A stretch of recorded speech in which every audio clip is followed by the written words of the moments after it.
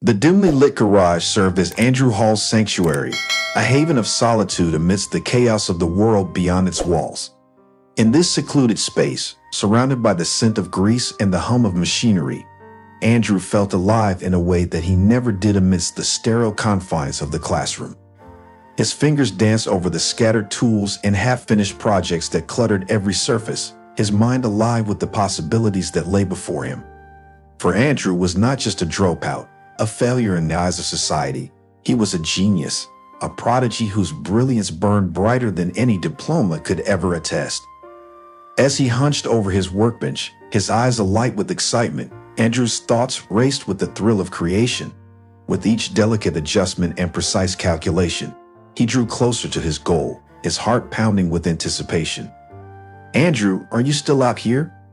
Came a voice from the doorway, breaking the silence of the garage. It was Janice, Andrew's wife, her face illuminated by the soft glow of the overhead light. Yes, Janice, Andrew replied, tearing his gaze away from his work to smile at her. I'm just putting the finishing touches on something big.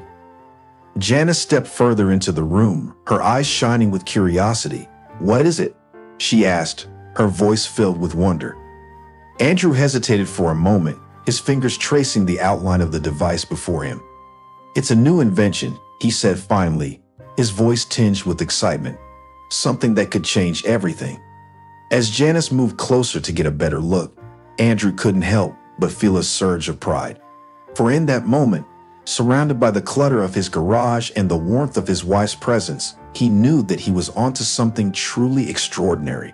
And as he returned to his work with renewed vigor, he whispered a silent vow to himself to never let anyone dim the spark of genius that burned within him. The fluorescent lights of the office buzzed overhead, casting a harsh glare upon the sterile surroundings. Andrew Hall sat at his desk, his fingers tapping nervously against the keyboard as he tried to focus on his work. But try as he might, he couldn't shake the feeling of unease that gnawed at the edges of his consciousness. Across the room, Parker Cole, Andrew's department manager, prowled like a shadow, his disapproving gaze fixed squarely upon his young subordinate. To Parker, Andrew was little more than a nuisance, an upstart who dared to challenge the established order of things. Andrew, Parker called out, his voice cutting through the tense silence of the office. I need those reports on my desk by the end of the day and make sure they're error free this time. Andrew swallowed hard, his stomach churning with apprehension. Yes, sir, he replied, forcing a smile that felt more like a grimace. As Parker turned away, Andrew couldn't help but feel the weight of his disapproval bearing down upon him. It was a familiar sensation, one that had haunted him ever since he had first set foot in the company's hallowed halls. Are you okay, Andrew? Came a voice from behind him, it was Sarah, Andrew's co-worker and confidant, her brow furrowed with concern. Andrew forced himself to nod, but inside, he felt anything but okay. I'm fine, Sarah, he replied, his voice strained, just trying to get through the day. Sarah gave him a sympathetic smile, her eyes filled with understanding. Don't let Parker get to you, she said softly. You're doing great work, Andrew. Don't ever forget that. But as Andrew watched Parker stalk through the office, his disdain plain for all to see, he couldn't help but wonder if Sarah's words were little more than empty platitudes. For in the shadow of doubt that Parker cast upon him, Andrew found himself questioning whether he truly belonged in this world of corporate politics and cutthroat competition. And as the hours stretched on, he couldn't shake the feeling that he was fighting a losing battle against forces far greater than himself.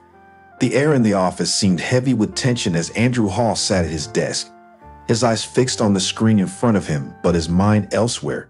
The events of the past weeks had taken their toll on him, leaving him feeling weary and disillusioned. Parker Cole's betrayal hung like a dark cloud over Andrew's head, casting a shadow of doubt over everything he had worked so hard to achieve. The man who should have been his mentor had instead become his greatest adversary, stealing credit for Andrew's innovations and belittling him at every turn. As Andrew stared at the reports on his desk, his hands clenched into fists at his sides. How could Parker be so callous, so blind to the damage he was causing? And more importantly, how could Andrew ever hope to prove his worth in a world where his accomplishments were constantly overshadowed by his lack of formal education? Andrew, are you all right? came a voice from behind him. It was Janice, Andrew's wife, her concern evident in her tone. Andrew forced a smile, but it felt hollow on his lips. I'm fine, Janice, he replied, his voice strained, just trying to stay focused. But Janice was not so easily fooled. She moved closer to him, her hand resting gently on his shoulder. You don't have to pretend with me, Andrew, she said softly. I know how much Parker's actions have hurt you. Andrew's shoulders sagged beneath the weight of her words, and for a moment, he allowed himself to lean into her comforting embrace. It's just, it's hard, Janice, he admitted, his voice barely above a whisper. I feel like I'm fighting a losing battle, like no matter what I do, it'll never be enough. But Janice refused to let him wallow in despair. You're stronger than you think, Andrew, she said firmly, her eyes locking with his. You've overcome obstacles before, and you'll overcome this one too. I believe in you. And as Andrew looked into the depths of Janice's unwavering gaze, he felt a spark of hope ignite within him. Perhaps he couldn't change the past or control the actions of others, but he could choose how he responded to adversity. And with Janice's love and support to guide him, he knew that he would find the strength to rise above the strain of betrayal and reclaim his place in the world. The morning sun streamed through the window of Andrew Hall's modest home, casting a warm glow over the cozy interior. As Andrew sat at the kitchen table, sipping his coffee and stealing glances at the newspaper spread out before him, he couldn't shake the lingering sense of unease that had plagued him in recent days. But just as the shadows of doubt threatened to engulf him once more, the sound of footsteps echoed through the hallway, and Andrew looked up to see Janice, his wife, entering the room with a smile on her face. Good morning, Andrew, she said cheerfully, crossing the room to plant a kiss on his cheek. How did you sleep? Andrew returned her smile, grateful for the warmth of her presence. Better than I have in a while, he admitted, reaching out to squeeze her hand affectionately. Thanks to you, Janice's smile widened, and she took a seat beside him at the table. I'm just happy to see you feeling more like yourself, she said gently. You've been through so much lately, Andrew, but you don't have to face it alone. Andrew's heart swelled with gratitude as he looked into Janice's eyes, so full of love and understanding. In her, he found solace and strength, a beacon of hope in the darkness that threatened to consume him. But it wasn't just Janice who offered him support in his time of need. As Andrew made his way to work, he found himself greeted with smiles and words of encouragement from his coworkers, their solidarity a testament to the bond they shared. Hey, Andrew, how are you holding up? Came a voice from behind him. It was Sarah, his coworker and confident, her expression filled with genuine concern. Andrew offered her a grateful smile, touched by her thoughtfulness. Better than I was, he replied honestly. Thanks to the support of people like you, and as they made their way to their desks, Andrew couldn't help but feel a sense of gratitude for the warmth of the support that surrounded him. For in the embrace of his loved ones and the camaraderie of his coworkers, he found the strength to face whatever challenges lay ahead, secure in the knowledge that he was not alone. The office buzzed with an undercurrent of tension as Andrew Hall sat at his desk, his gaze fixed on the screen before him, but his mind consumed by thoughts of Parker Cole. Despite his best efforts to push the betrayal aside, it lingered like a dark cloud, casting a shadow over everything he did. But as the hours stretched on, Andrew's brooding was interrupted by the sound of raised voices coming from the other side of the office. Curiosity piqued, he rose from his desk and made his way towards the source of the commotion. As he rounded the corner, Andrew found himself face to face with Parker, his department manager, engaged in a heated argument with another coworker. The tension in the air was palpable, thick with accusations and recriminations. You can't just sweep this under the rug, Parker, the co-worker said, his voice tinged with anger. You know what you did was wrong. Parker's face darkened with rage, but Andrew could see the flicker of uncertainty in his eyes.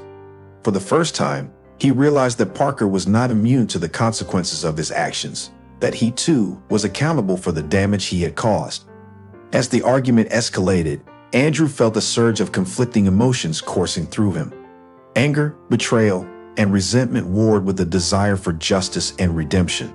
For too long, he had allowed Parker's actions to dictate his own sense of self-worth, but now he knew that the time had come to take a stand. Enough! Andrew's voice rang out, cutting through the tension like a knife. We can't keep pretending like this didn't happen. Parker, you need to own up to what you've done.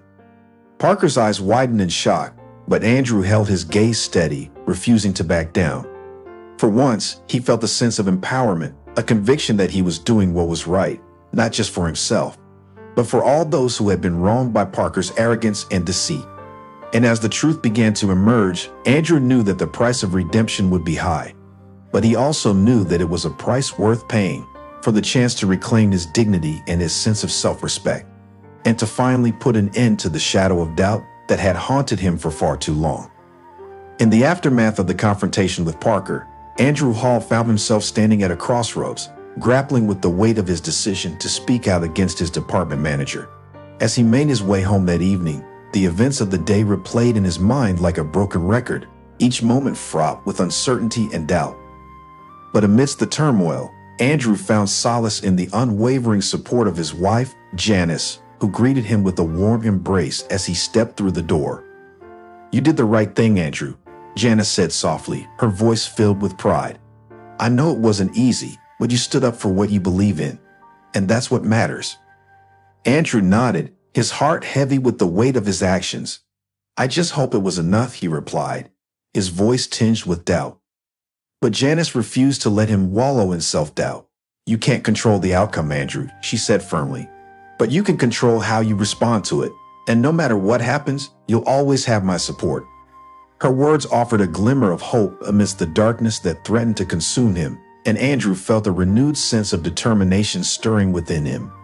For the first time in weeks, he allowed himself to believe that redemption was within reach, not just for himself, but for all those who had been wronged by Parker's actions. As the days turned into weeks, Andrew found himself consumed by a sense of purpose, driven by a desire to make amends for the past and forge a new path forward. He threw himself into his work with renewed vigor, determined to prove that he was more than just a high school dropout, that he was a force to be reckoned with, capable of achieving greatness despite the odds stacked against him. And as he watched the world around him begin to change, Andrew knew that the path to redemption would not be easy. But with Janice by his side and the support of his coworkers to buoy him, he was ready to face whatever challenges lay ahead, secure in the knowledge that he was finally on the right track. As Andrew Hall stepped into the warmth of his home, he felt a sense of peace wash over him, a welcome respite from the chaos of the world outside. Janice greeted him with a smile, her eyes sparkling with love and affection as she moved to embrace him. Welcome home, Andrew, she said softly, her voice a soothing balm to his weary soul.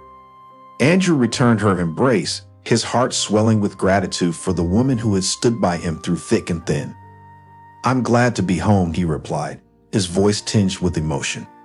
As they settled into the comfort of their living room, Janice reached out to take Andrew's hand in hers, her touch a gentle reminder of the bond that they shared. You've been through so much, Andrew, she said, her eyes searching his for any sign of distress. But no matter what happens, I want you to know that I'll always be here for you. Andrew squeezed her hand tightly, overcome by the depth of her love and support. I don't know what I would do without you, Janice, he admitted, his voice barely above a whisper. You're the reason I keep going, even when things seem impossible. Janice smiled, her eyes shining with tenderness. And you're the reason I believe in miracles, she replied, her voice filled with sincerity. Together, we can overcome anything. As they sat in companionable silence, Andrew felt a sense of peace settle over him, a quiet reassurance that no matter what the future held, he would face it with Janice by his side. For in her love, he found the strength to weather any storm, and in her presence, he found the courage to believe in himself once more. And as they looked towards the horizon, hand in hand, Andrew knew that no matter what challenges lay ahead, they would face them together, bound by the unbreakable bond of love that had carried them through the darkest of times. For in the end, it was love that was the true source of their strength, a force more powerful than any obstacle they could ever hope to overcome.